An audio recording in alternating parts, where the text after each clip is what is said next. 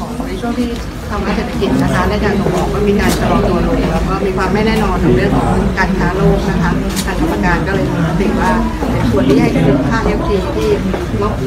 11.60สตางค์ต่อหน่วยไปก่อนค่ะก็จะเป็นในช่วงของเดือนกันยายนถึงเดือนธันวาคมปีนี้นะคะในถ้าไม่ไม่ตรึงค่าไฟฟ้าจะขึ้นไปเท่าไหร่ แล้วเงินวงเงินที่ต้องถูกตึงมาจากไหนอย่างไรคะ ค่ะถ้าเกิดว่าตรงนี้ช่องจากช่วงนี้เนี่ยเป็นช่วงของราคาเชื้อเพลิงที่ขาขึ้นนะคะ โดยที่ก๊าซธรรมชาติซึ่งเป็นเชื้อเพลิงหลักในการผลิตกระแสไฟฟ้า ก็ขึ้นไปประมาณ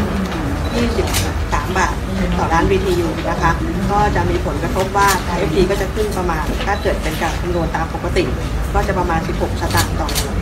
อย่างไรก็ตามในการดำเนินงานเนี้ก็จะต้องมีการบริหารจัดการนะคะทางกรรมการก็จะมีการบริหารจัดการ ซึ่งส่วนหนึ่งก็มาจากเรื่องการกำกับดูแลเรื่องประสิทธิภาพของการไฟฟ้าเราก็จะมีเงินประมาณ 3,000 ล้านบาทที่จะดูแลในส่วนนี้ค่ะ ส่วนที่เหลือก็ต้องมีการคุยกันต่อไปกับทางด้านของการไฟฟ้าฝ่ายผลิตการไฟฟ้าจากฝ่ายจำหน่ายนะคะ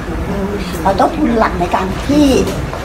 ทำให้ต้นทุนสูงขึ้นนะคะมันเกิดจากอะไรคะต้นทุนทำให้สูงขึ้นคือราคาเชื้อเพลิงที่เพิ่มขึ้นแล้วก็อีกส่วนหนึ่งก็คือในช่วงที่ผ่านมาเนี่ยมันมีความใกล้เคียงเอฟทีติดลบหมายความว่าราคาเชื้อเพลิงมันต่ำกว่าที่เราใช้ประมาณการในค่าไฟขายแต่หลังจากที่ผ่านมาไม่ว่าจะงวดก่อนหน้าหรืออะไรเนี่ยเราจะพบว่า